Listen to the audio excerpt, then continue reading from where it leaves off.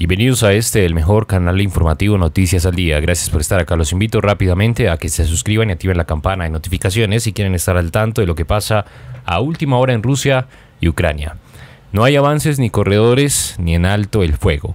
Rusia además aseguró que no arremetió al territorio ucraniano, sino que respondió a fuertes mensajes directos contra su seguridad. No olvide dejar un comentario en este video y un me gusta también para apoyarnos. De antemano, muchas gracias. Estaremos pendientes de sus argumentos frente a esta información. Los responsables de la diplomacia rusa y ucraniana no lograron este jueves en Turquía un acuerdo para un alto el fuego. En su primer cara a cara, tras dos semanas de invasión y horas después del estallido de un hospital pediátrico en la ciudad de Mariupol, que provocó tres decesos y la repulsa mundial. El responsable ucraniano aseguró que Rusia pretende continuar su agresión hasta que Ucrania capitule. Escuché que el alto del fuego está vinculado por parte de Rusia al respeto de las exigencias manifestadas por el presidente Vladimir Putin a Ucrania, así agregó. Pero Ucrania no se ha rendido, no se rinde y no se rendirá, insistió ante los periodistas. Rusia no arremetió a Ucrania. Pese a no ceder en sus posiciones, ambos responsables dijeron que deseaban seguir negociando y haciendo esfuerzos tras este primer encuentro desde el inicio de la invasión rusa. El ministro ruso Lavrov dijo que su país estaba dispuesto a seguir conversando en el mismo formato de los tres primeros encuentros en Bielorrusia y que un encuentro entre Putin y el mandatario ucraniano Zelensky estaba por ahora descartado. Respondiendo a los periodistas tras el encuentro, Lavrov aseguró además que Rusia no planea arremeter a otros países y no, y no arremetió a Ucrania, sino que respondió a fuertes mensajes directos contra su seguridad. El ministro también criticó las peligrosas entregas de los países occidentales a Kyiv. Hasta ahora las conversaciones entre Kyiv y Moscú lograron treguas locales y la instauración de corredores humanitarios para evacuar civiles, pero Rusia ha sido acusada de no haber respetado estos acuerdos. ¿Qué opinan de esta información? Nuevamente los invito a que se suscriban y activen la campana de notificaciones. No olvide dejar un comentario y un me gusta. Gracias por estar acá. Esto es Noticias al Día. Otro de los países que están en el centro del debate, pues por eh, la creciente amenaza de la figura de Rusia. Recordemos que tanto Suecia como Finlandia no son parte de la OTAN, pero sí son parte de la Unión Europea. Las dos primeras ministras de estos países quieren que en esta cumbre haya algún tipo de declaración donde se exprese de manera um, clara y precisa que la Unión Europea podría um, responder a una futura ofensiva militar de Rusia en estos países. Pues como vemos, aquí está la llegada del presidente del gobierno español, Pedro Sánchez,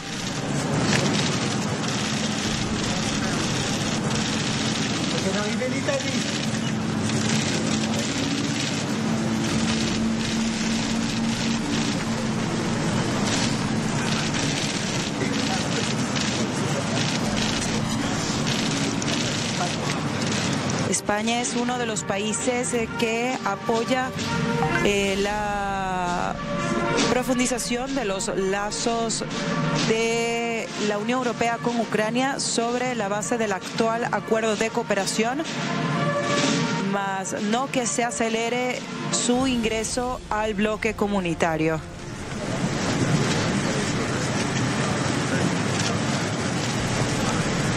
Aquí vemos la llegada del primer ministro de Italia.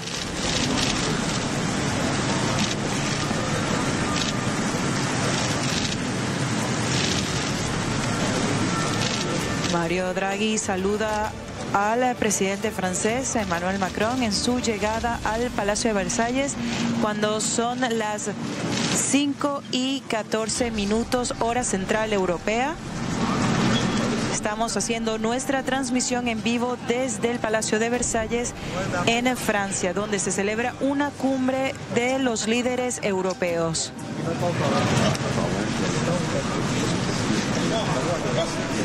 Recordamos que el tema central de esta cumbre será la crisis en Ucrania y cuáles serán las... Uh, los nuevos pasos de la Unión Europea frente a la invasión rusa, así como cuál será la hoja de ruta para desvincularse de esa dependencia energética que tienen también con Moscú.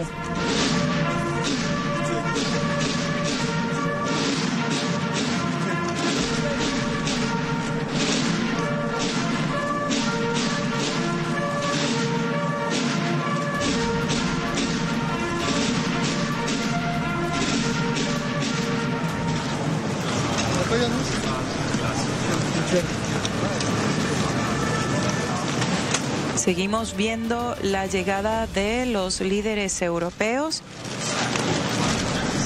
Hay que resaltar que Francia quiere consensuar entre los 27 una fecha para cerrar el grifo de las importaciones de gas ruso y también quiere delimitar los objetivos de reducción de esa dependencia desde este año. Una cuestión que estará en el centro de las ah, conversaciones de esta cumbre. Así que Francia es uno de los países que lleva la batuta en esta en este afán de, de independizarse energéticamente de Rusia.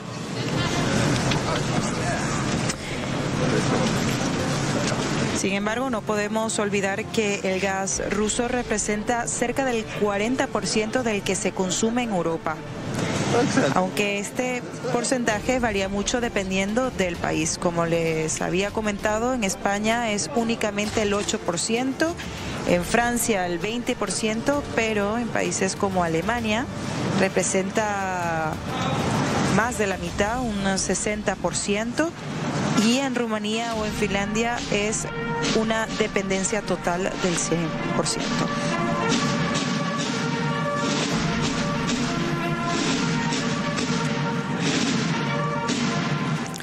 También es posible que escuchemos declaraciones sobre los uh, últimos bombardeos de las tropas rusas, específicamente en la ciudad de Mariupol, en Ucrania, donde un hospital materno-infantil fue bastante afectado.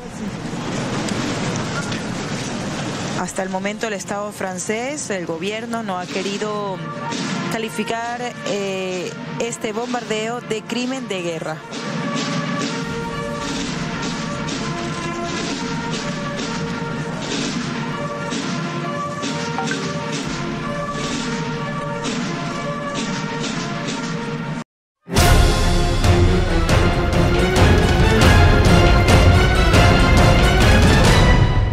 Si no te quieres perder de los últimos acontecimientos que pasan en el mundo, suscríbete y activa la campana.